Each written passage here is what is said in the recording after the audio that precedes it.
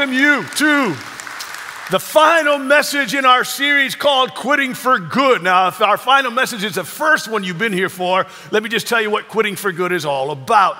It seems counterintuitive to talk about quitting being good. We're not talking about giving up. We're not talking about not being tenacious or giving it your best or doing uh, uh, having as much uh, all-out effort as you can offer. What we're talking about is you and I have to quit things that aren't good to go after the things that are. If there are things in our life that are not only not good, they're just not essential. Sometimes they're even good, but they're not the best. And in order to experience the best in life, there are things the people who excel the most in life are the best at quitting the things that keep them from the best. And that's the gist of this series. Now, let me set up this last message with a, with a question. How many are familiar with a social website called Pinterest? How many of you are, are familiar with it? Okay, now if you're not, let, let me read to you. Here's a, a, little description of Pinterest by PC Magazine. It, it describes Pinterest in this way it is a socially oriented photo video sharing site in the form of an online pin board. Okay? Now, I found another description of Pinterest, and let, let me read it to you. It goes like this Pinterest is a visually driven social media platform strategically designed for nonstop, 24 hours a day, seven day a week reminders that your kids are not as well dressed as your neighbor's kids, that your home is decorated in the most amateur fashion imaginable. That the pictures you take are bland and artless, that you did a terrible job planning your wedding, that you live a generally tedious, monotonous existence, unlike everyone else, whose lives are categorically awesome at all times. Come on, how many of you have ever compared your real life to someone's highlight reel on Pinterest or Facebook? Or Facebook? have you ever looked at their pictures? Have you ever looked at their trips? Like they're waving from Paris. And you're stuck in traffic and you're like, this is like, how do I get that life? How, do I, how did I get my life? If you've ever felt like a loser when you look at these like these pictures and these families and these jobs and the houses and cars, I want to recommend another site for you. I want to recommend that there's another great site. It's called Pinterest Fails. Pinterest Fails is another social media site for people who try to do what they saw on Pinterest and they, well, let me just show you some pictures. Okay, here, here's Pinterest. Here's the first one. Okay, this is what someone did on Pinterest. Here's Pinterest fails. Okay. All right. Okay, okay. Here's another one. Here's, here's Pinterest. Here's Pinterest picture. Uh, here's Pinterest fails. All right, it was an effort. Okay, let me, let me show you now. Here's, here's a picture. Oh, all right, here's, a, here's, here's another attempt. Pinterest fails. all right, all right here's, kids are, here's another picture. Here's, here's another picture. Okay? Now, Pinterest fails. Nailed it. All right, all right, here's a, here's a, here's a cute, kid's picture. Here's another picture. Uh, okay, here's Pinterest fails. Oh. Okay, like the baby got motion sickness, all right? Like it's just, we had some of those. They threw up everywhere. Okay, so, so, so one more, and this is like, there's a lot of tats going around, and make sure whoever tattoos you knows how to spell. One more picture. Okay. Now you got to read that because it doesn't say regrets. This guy has regrets on his ankle for the rest of his life. So, so, so all I'm telling you, I'm gonna go, okay, I feel better now. Like, like, like Pinterest, like that, Pinterest makes me feel bad, but Pinterest fails, like I'm better than them. All right, but I've got an even better recommendation. Better than Pinterest, better than Pinterest fails. And here's my recommendation for you and me. My recommendation is that we quit playing the comparing game altogether.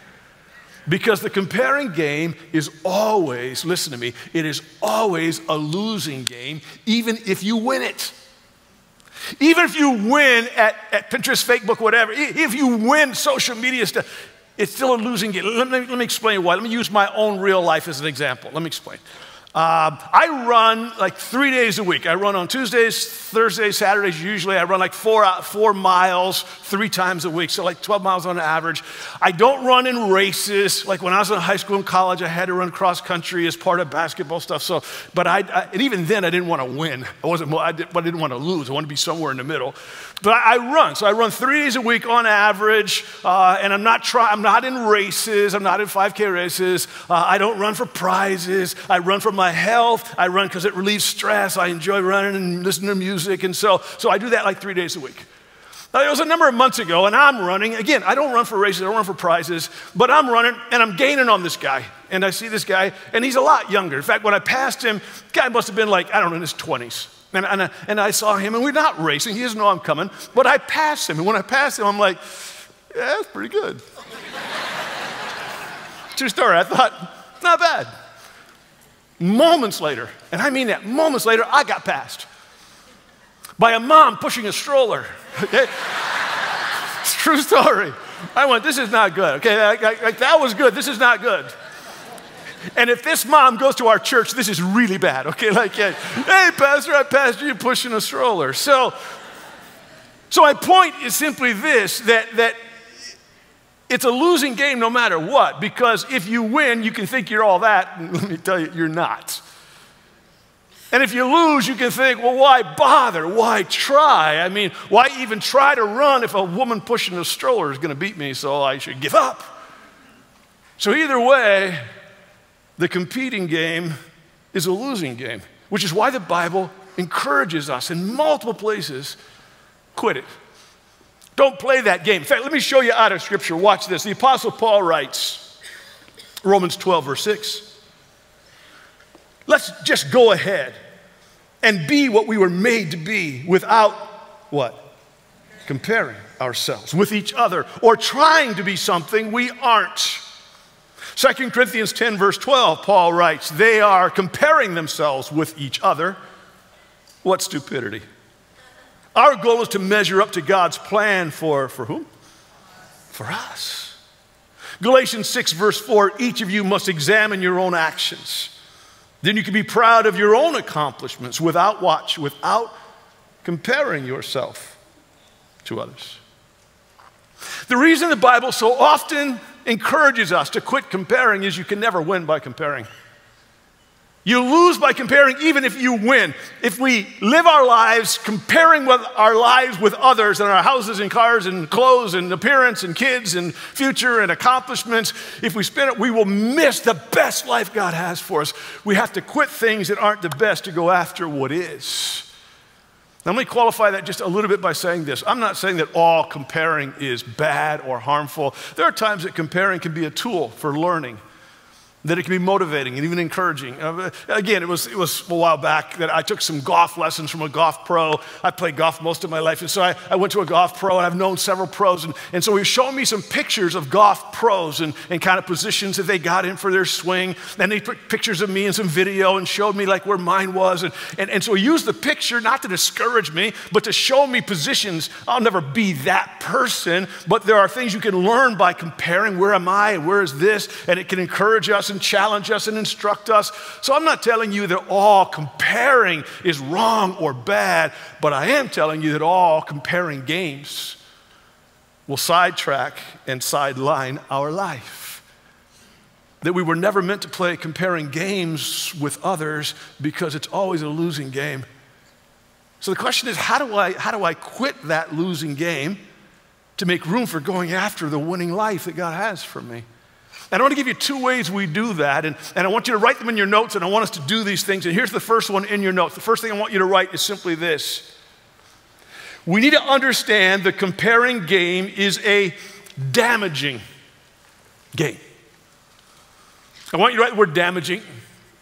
What I want to take just a moment and do is build the case as to why we need to quit comparing with others. Because sometimes, again, and throughout this series, we've walked through a number playing God, we've walked through complaining, we've walked through a variety of things. And sometimes you and I can say, okay, what's the big deal? Okay, maybe it's not the best thing, but it's not the worst thing, but it can keep us from the best thing.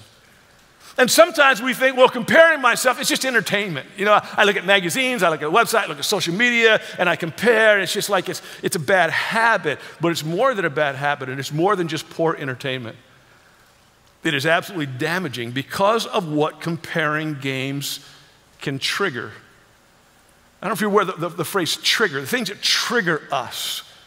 And I want to show you some things that the comparing game can trigger in our life that will damage our life. I want you to write them down in your notes. Here's the first one comparing can trigger pride.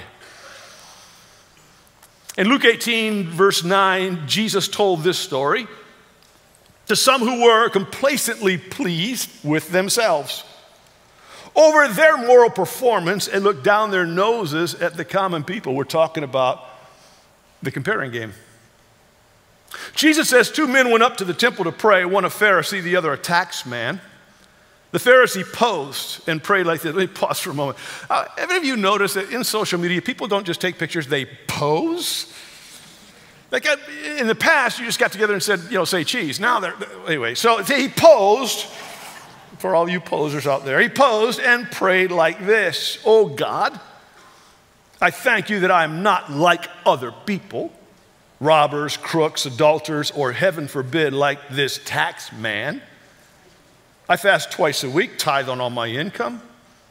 Meanwhile, the tax man slumped in the shadows, his face in his hands, not daring to look up, and said, God, give mercy, forgive me a sinner. Jesus commented, This tax man, not the other, went home made right with God. If you walk around with your nose in the air, you're going to end up flat on your face. But if you're content to simply be yourself, you will become more than yourself. See, what happened was both men needed forgiveness and grace and rightness. But one man missed it because he compared himself to others. Well, because I'm better than him. I'm better than this person. I'm better than most people. And when he did, he missed the very thing he needed. And the man who realized and did not compare himself to anybody, I need God's mercy, received it. In fact, James, James is really blunt. James puts it like this James chapter 4, verse 6. God goes against, the word literally means fights against the willful proud when we think we're all that. And God gives grace to the willingly humble. And let me just challenge you for a moment. When, when do we tend to be the most proud? When we compare ourselves and I'm better than, than that? Let me give you another to write in your notes. Comparing can trigger inferiority. It's what happened to some Israelite leaders. We sometimes we call them the, the spies Moses sent into the promised land, but they were leaders, they were scouts. And he sent them to evaluate the place they were going and bring back a report so people could get ready and get excited and get prepared. And, and so they come back, but the report they give is, is this watch, Numbers 13, verse 33. And they reported. We also saw the Nephilim, the descendants of Anak, and, and, and these are a giant people. Watch this. Compared to, don't miss that, because it's all about the comparing game. Compared to the Nephilim, we're like grasshoppers. And that's their opinion of us, too. Where does inferiority come from? From comparing to someone who's more er than us. what do you mean er? I mean, no, there, there are people that are taller, faster, richer, prettier, more married er. Okay, there's people, there are people that are more er than us. I don't care where you are. There's somebody more er than you are in whatever area of your life you think you're okay. And it can cause us to think, well, if there's so much more er than me, then I must not be much. And, and at the heart of inferiority is, a, is an unwise, unfair playing of a comparing game. In fact, there's a book, and I put it in your notes that I recommend. It was written several years ago and then updated by Dr. James Dobson, and it's still, I think, a classic that, that it, it's really for parents and children. It's simply titled Hide or Seek Building Confidence in Your Child. But as I told you last week when I was sharing with you Max Lucado's book about the Wemmicks, and some children's books are really for adults. And I believe this is one of those ones because all of us, no matter how old you are, there's still a child in us. And, and sometimes a child that battles with, with inadequacy and inferiority. And, and he here's what he writes on the back Our children are in the midst of a crisis of confidence. From the moment they enter the world, children are subjected to a value system that reserves respect and esteem for only a select few. Those who fail to measure up to society's standards, primarily in the areas of beauty and intelligence, must learn to cope with feelings of inadequacy and inferiority. It's a powerful book. It's a powerful book to help parents with their children and to help parents with the child that's still in us. That sometimes battles to feel like we measure up and that we are inferior to somebody else and feelings of inferiority. Well, listen, feelings of inferiority kept an entire nation out of God's best for them because they got so, they, they got so fearful because they felt so small compared to some giants. And how many know the giants compared to God weren't big, but we make these, these dangerous comparisons. Let me give you another to write in your notes. Comparing, thirdly, can trigger jealousy. Mm, write the word jealousy. For Samuel 18, verse 6, and when the victorious Israelite army was returning home after David had killed the Philistine, he killed a giant. Okay, remember they, they're afraid of giants. Now David kills one. Women from all the towns of Israel came out to meet King Saul. They sang and danced for joy with tambourines and cymbals. This was their song. Saul has killed his thousands and David his ten thousands. This made Saul very angry. From that time on, Saul kept, say it out loud, a jealous eye on. Did you ever have a jealous eye? King Saul has killed his thousands, but David has killed his tens thousands. He actually hadn't, but that's jealousy. And jealousy caused King Saul to attempt to take David out on a number of occasions. And it was jealousy that actually took King Saul out from what God had for him, what God wanted him to be, because jealousy will do that. In fact, here's what scripture jealousy is more than just like this bad habit. Here's what scripture says about jealousy. Watch this Proverbs 14, verse 30. Jealousy is like cancer in the bones. It's like bone cancer. It is a secret, silent killer. And it happens internally, sometimes so deep you don't spot it. It's not on the, always on the surface, but it eventually gets to the surface. But it starts off in this, this, this inner, inner area of our life and it eats us up. Let me tell you a couple of things about the way jealousy expresses itself. Jealous people are fearful people.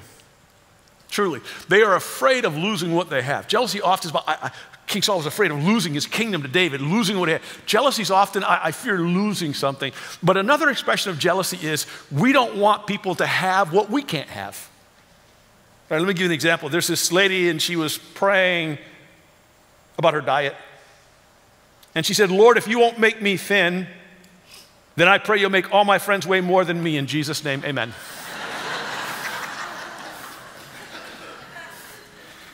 If you won't make me thin, make them heavier than me. Okay, so it's like it's like so they can't have what I want. And jealousy always trips us up. It always eats us up. Let me give you a fourth to write in your notes. Comparing can cause us to question God's fairness and miss God's favor. There are two words I want you to write. I want you to write fairness and favor. It's Matthew 20, and Jesus tells a parable, a word picture, and it's on the surface one of the most confusing, at least for many. It just kind of seems strange. Now, some of Jesus' stories and word pictures takes a little while to kind of figure out, but this one, this one is a really interesting story about a, a vineyard owner, a land owner and it must be harvest time because there's an urgency to get his, to get his grapes, his crop in. And, and so he goes and hires, obviously, if he's a landowner, he's got people that work for him, but he doesn't have enough. So he goes, he goes to Home Depot and hires some day workers. Well, in essence, he goes to the city center where people would hang out and hopefully get hired for the day. They were called day laborers because they labored that day. They didn't have a regular ongoing job. They would get hired when they could, how they could. So he goes and hires, very early in the morning, he hires some day laborers. He says, if you'll work this day, I'll give you a full day's wage. And that was great because if they had a job, they would have been there. So they didn't have a job. They got a job. They got promised a day's pay. This is going to be a great day. But he didn't have enough. So at nine o'clock, he goes back to Home Depot, goes back to the city center, and hires more. At noon, he goes back and hires more. At 3 p.m., that's the third time he goes back and hires, actually the fourth time, he hires more. And then at 5 o'clock, he goes back and hires even more, and it's one hour before quitting time. So he's hired him very early in the morning, then at 9, at noon, at 3, at 5. When the workday is over, he tells his foreman, okay, pay them and start with the workers we hired last. So the foreman starts with the last workers hired. They've only worked one hour and he gives them a full day's pay. Now, when they were hired, they were only promised what was fair. They weren't told what they were going to get paid. The only guys told what they were going to pay were the first ones. Can you imagine how excited they were? But the ones who got hired first, they figured if they got a full day's pay for, man, ka-ching, this is our day. And when they stepped up, they got one full day's pay. They're like, oh, what's up with that? These guys worked one hour. We worked all day. We got the same thing. And they went from being happy they had a job and paid and not being very happy at all. And they said this to the owner. Watch Matthew 20, verse 12. Jesus continues. They said, These last workers have worked only one hour, yet you've, watch this, treated us all the same even though we worked hard all day under a blazing sun. The owner said to one of them, Friend, I'm not treating you unfairly. Don't miss that word. Because they basically were saying this isn't fair. Didn't you agree with me on a day's wages? Take your money and go. I want to give this last worker as much as I gave you. Can't I do what I want with my own money? Or do you resent my generosity? Now, you could plug in the word grace. Or plug in the word favor. Or do you resent my favor? Do you resent my grace? Do you resent my generosity toward others? Now, stay with me. This is really important. They were not accusing the owner of cheating them because he had not cheated them. He said, If you'll work a day, I'll give you a day's wage. And he did. What they accused him of was not being fair. Have any of you ever had someone say, That's not fair? I don't mean you, but someone else said, That's not fair. Now, the fair happens at Del Mar, and it's usually uh, over by July 4th. So, that's not fair. Let me, let me, and honestly, this is what, on the surface, this, this story is kind of confusing by Jesus because we go, well, they're right. It's not fair. And you're right, and they're right. It wasn't fair. And let me tell you something very important out of this story. God's grace, God's favor is never about fairness. That's what I believe Jesus was trying to teach. It's not fair because well, it's not about fairness. Gifts are never about fairness. See, what he was trying to teach them, and he's trying to teach us, and, and, and them in a special way, and us in a special way, is that everyone, everyone that day got graced. Everyone got graced. No one would have stood a chance had they not been graced by, by this landowner hiring them. Everyone gets a chance, even the last and the least. Now, this is really important. Because this doesn't really register with us, at least it doesn't register with me, because this isn't something that we're that aware of. But in Jesus' day, let me explain for a moment how this day labor thing worked. If you needed a day labor, you go by Home Depot and there's a bunch of people standing there, who, who are you going to pick to work for you? Whoever's the strongest, who looks the healthiest, who looks the best, who looks the most capable. That's exactly what happened then. The ones who got hired early in the morning were the strongest, the, the, the, the, the most potential.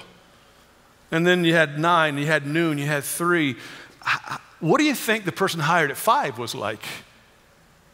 The gist was by the time the person hired at five, they were, well, first of all, let me tell you something. They were not lazy and they were not irresponsible, or they wouldn't still be hanging out hoping for a job at 5 p.m. when the day finishes at 6. They were desperate. But more than desperate, let me tell you something. They were the weakest, they were the disabled, they were the elderly, they were the foreigner.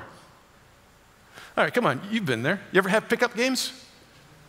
Have you ever had pickup games? Like you choose captains, and then the captain chooses their teams. And how many know when you get to the bottom of the barrel, you don't even get picked by yourself? You take those three, and I'll take those three, right? You're not even considered one of the, you're just that group. Jesus says, God, who's the owner, graces that group. But stay with me. Can you imagine how happy that last group was? How desperate they were? Can you imagine when they got home the conversation they had? They've survived day to day and they get home and they tell their family they got a whole day's pay. In fact, there was a, a playwright who, who, wrote a whole play based on this, and it was two brothers, and one brother was, had a deformity in his hand, and, and the other brother was healthy, and they both got hired. Well, the one who was healthy got hired, and then his brother with a bad hand got hired, and then his brother with a bad hand got paid the same he did, and he was so excited, but all the other workers were so ticked off. It was the same story, but in a different, a different telling. And it makes us think of a different perspective of how happy that person was, how happy their family was. But don't miss the fact that while everyone was graced, because they compared what they got to someone else, they were graced as well. They missed out on the enjoyment of their grace. They lost the joy of God's favor on their life because it didn't compare to the favor. Don't ever compare the favor of God in someone else's life because you don't know their story. You don't know their story. You don't know their need. You just don't know. That's why you can't compare grace. Everyone is graced. See, these religious rulers, like, we've been in this thing a long time, and these Johnny come latelys, they can't get the same thing. She said, You don't get grace is never about fairness. Because if you want to be fair, you're toast. David says, God, if you treated me like I deserve to be treated, I'm finished. I always laugh when I see this. You deserve, okay, if I got what I deserved, I don't get anything. So the grace is what God gives us that we didn't earn, that we really don't deserve. And if I compare what God does in my life to what God does in your life and think it's not fair, I can miss the favor in my life. So, so, what I'm trying to kind of paint a picture of for you and me to build kind of a frame for us is that comparing is not just a bad habit. It's not just a social media deal. It's not just a fake book deal. It, it's, it's not just about looking at somebody else's highlight reel and my real life. The comparing game damages me because it triggers attitudes and actions in my life that will keep me from the great life and the winning life that God has for me. So I got to understand that it's so damaging, I need to quit it. But now, how do I actually do that? Because we start playing this game really early in life. We start playing it very early. You start playing it when you went to school, you started playing. When, if you've got siblings, you played it. So, how do I quit it? Oh, I want, let me give you a second thing to write in your notes. Here's a second, really important key. To quit playing the comparing game, we need to challenge and change our mindset. The word I want you to write is mindset, because I want to tell you something about the comparing game. It's not, it's not caused by social media. It's not caused by Pinterest. It's not caused by Facebook. It's not caused, those things contribute to it, but they don't cause it. Let me tell you what it's caused by my thoughts. Because I played, I played the comparing game before there was an internet. How many of you lived before there was an internet? Like some of you have no clue what that's about. We do. And we played it. The comparing game is all about my thoughts and how I set my thoughts. That's where it starts, and that's where it stops. Watch this. The Bible says this watch. Philippians 2, verse 5. Paul writes, in your relationships, have the same what? Mindset. Circle that word, mindset. The way your mind is set, aimed, focused as Christ Jesus. Romans 12, verse 2 don't copy the behaviors and customs of this world, but let God transform you. How does He do that? Into a new person by changing the what? Way you think. Circle the word way. He doesn't say what. changing what you think is important, but the way you think. The orientation of your thoughts, the setting of your thoughts. Paul says in Colossians, set your minds on things above. What? Because you set your mind. And whatever you set your mind on is where your life will go. Wherever your eyes go, your life will follow. So the Bible challenges us to have a mind set differently. And that's the only way that we can overcome, that we can challenge and defeat this comparing game. And I want to give you just four biblical ways for us to change our mindset. Okay? When you change your mindset, you change your life, and we make room for the best life God has for you. So I want you to write four things down, and more than that, I, I want to challenge you and me to do these four things. Here they are in your notes. Here's the first one. We need to look up for validation and fulfillment. Words I want you to write are look up. Here's my question How do you know you're enough? How do you validate your life? How do you fulfill your life? It's all, it's all where you look. Watch. Paul writes in Colossians 2, verse 9 For in Christ all the fullness of the deity of God lives. And in Christ, you have been brought to fullness. Don't miss this. He says, In Jesus is all the fullness of God, and Jesus in you, now you have all the fullness of God. Watch. Steven Furtick writes, God can fill us with a fullness that can't be stripped away. That's the antidote to the absurdity of the Snapchat society in which we have to make our lives look interesting for 10 seconds. So everyone will think we're having fun. God wants us to know and believe that the fullness of Christ has been given to us. It is finished, it is accomplished, and nothing can change that. If I have fullness in Christ, if I am full of love and joy and affirmation and blessing and strength and Jesus, then there is no need for comparison and no place for competition. What do I have to prove to anyone? What do you have to prove? Nothing. Where do you go to validate your life? How, how, do you, where do you go to say, I'm good enough, I'm there? Where do you go? If you were here last weekend, we talked about the Wemmicks. And if you weren't here, you Wemmicks, who's the Wemmicks? They're these wooden people, and Max Lucado's great story about the Wemmicks. And you can watch last week's webcast and figure it out. Punchinello, Lucia, if you weren't here, you missed it. Okay, but the Wemmicks, to recap the story, are wooden people made by Eli the craftsman. And they have these box of star stickers for people that do good things, and they have a box of gray dots for people who do bad things. And They put stickers on people all day. And Punchinello has all these gray dots until he meets Eli. He meets Eli because he's met Lucia, who's a stickerless Wemmick, and that blew him away. And he discovers some interesting things when he meets his maker, his creator. Here's one of the things that, again, Eli says to Eli says to Punchinello, the stickers of other people's opinions only stick if they matter to you. The more you trust my love, the less you care about the stickers. You are special because I made you and I don't make mistakes. And once he was in Eli's presence and heard Eli say, I made you, I don't make mistakes, I don't care what they think, you shouldn't care what they think. And he thought to himself, I think he really means that. A sticker fell off because where you look for validation and fulfillment will determine whether you find it.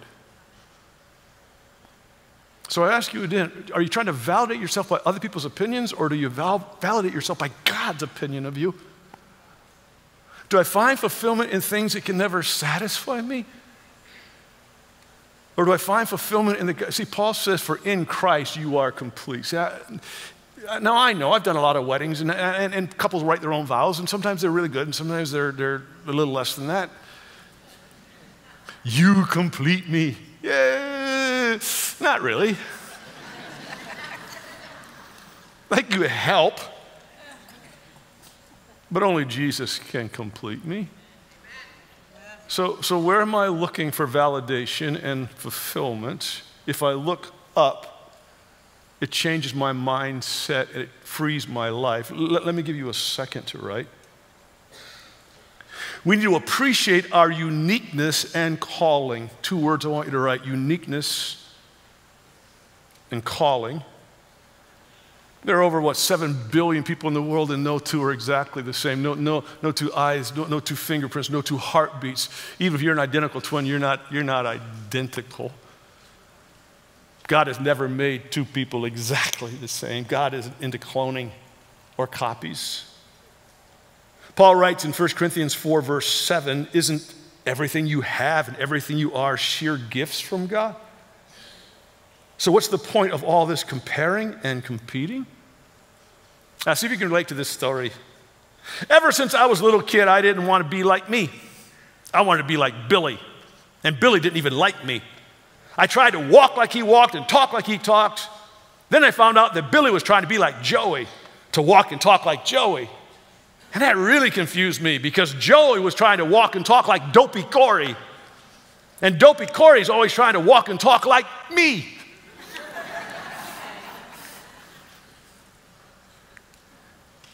You were born an original, do not die a copy.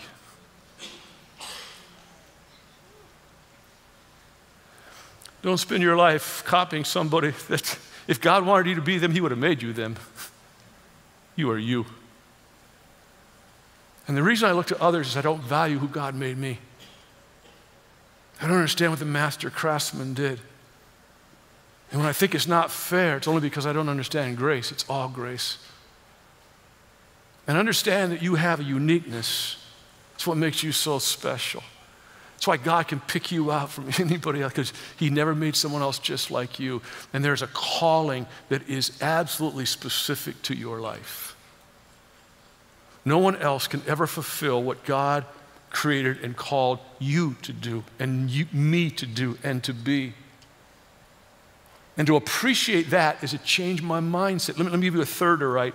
We need to celebrate the successes of others.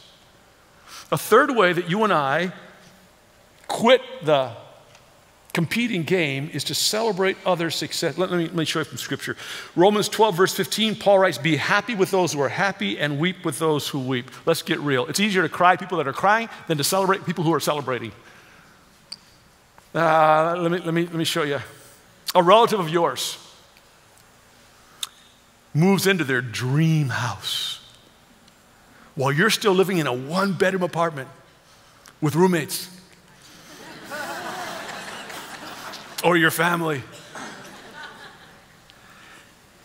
Go to them and celebrate with them. It is so great. Congratulations on, don't just think it, Tell them, congratulations, give them a gift. Tell them, th- congratulations on your dream house. Let me give you another example. A, a, a, friend of yours loses weight and they're looking good, and you can't lose any weight at all. Tell them, you're looking good, looking fine. I noticed you lost some weight. You, you're really looking, tell them. Don't pray, God, make them fatter than me. Just tell them. You're looking good. Stay with me. A, coworker gets called in for a promotion and a pay raise, and you had really been hoping for it. Congratulate them. Send them a note. Text them. Don't just say, oh, good for you. No, no, tell them, congratulations. Celebrate with people and their wins, even when you don't feel like it. Celebrate it until you feel like it, because it's one of the ways that you and I break the control we break the power of competitiveness over our hearts. When I can celebrate your wins, I can celebrate your victories, when I can celebrate what happens in your life, it breaks the power of comparing in my life, even when I don't feel it. Because when I start to celebrate what happens in your life, now my, I get celebrate focus and I can even celebrate what's happening in my life. When I don't celebrate, I lose the ability to celebrate yours and mine, and I become a prisoner of that game. Now, I'm not just telling you this, listen, when Jewel and I were first married, we are traveling as evangelists, and we didn't have a whole lot, but we had this one bedroom apartment. But my wife always made wherever we look, she makes it live, she makes it look good. But we stopped in, I think it was Ashtabula, Ohio, somewhere in Ohio, and, and some friends of hers from college. And, this, this, and, and, and, these friends, his dad owned, I think it was an asphalt company or something like that, big company, and it was very successful, and he was, and he was successful. And so we pull up to their house, and their house is huge. He, he, at this time, he loved Jaguars. He had, he had a collection of Jaguars, he had all these cars.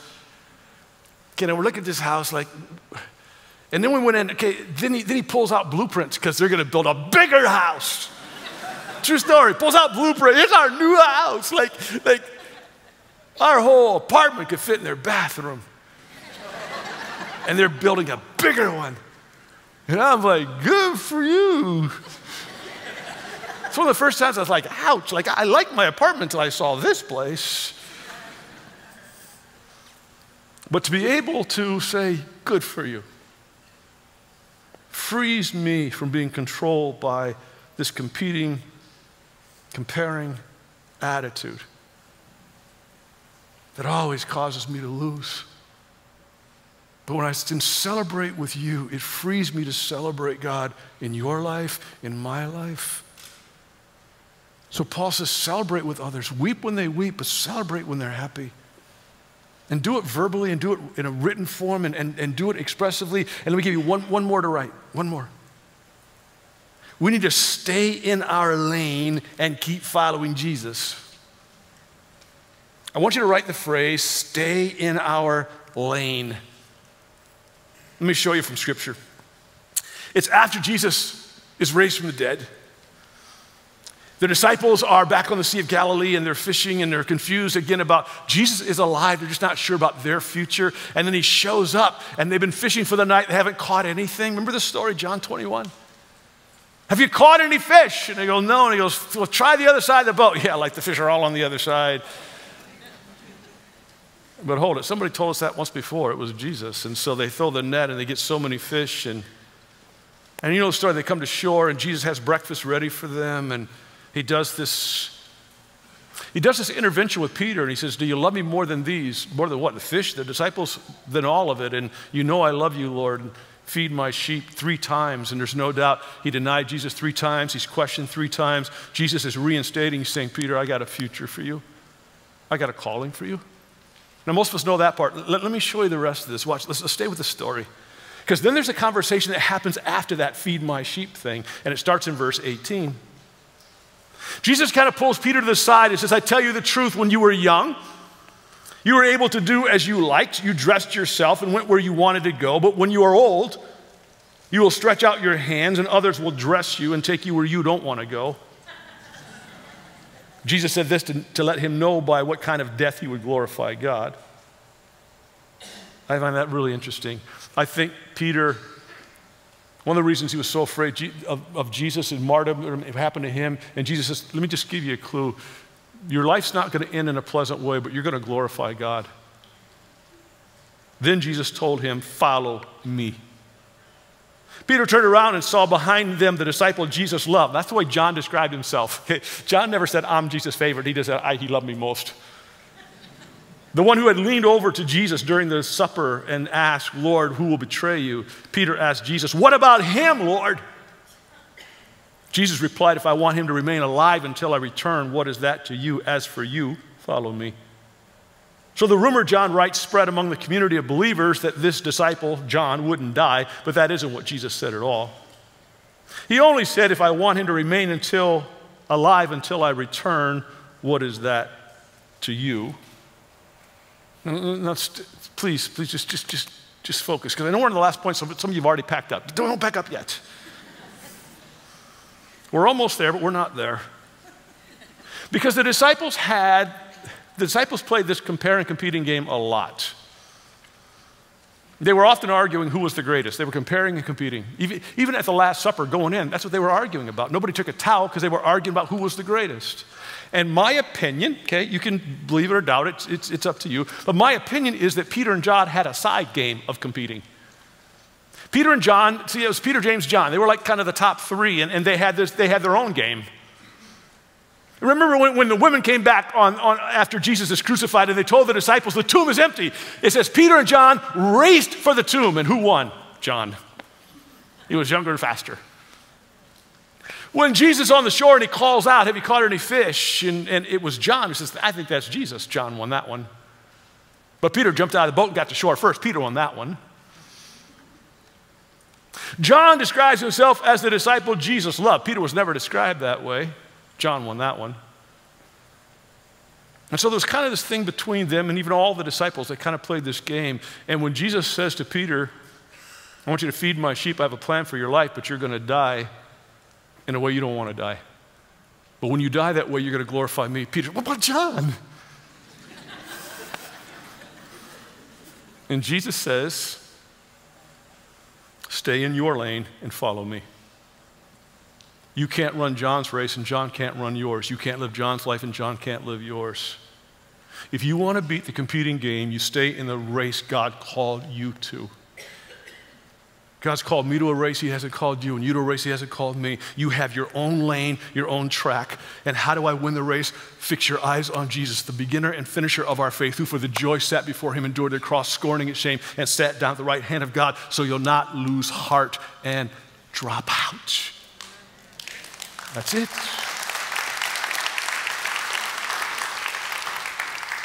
I stay in my lane and I fix my eyes on Jesus. And when I get in troubles, when I get in somebody else's lane. So, I haven't seen that mom pushing the stroller running lately. but if she happens to pass me again, I'm okay with it. Because I quit the competing game. Now, I might try to run a little faster, but, but I'm, not, I'm not trying to beat her because she has her own race and her own pace.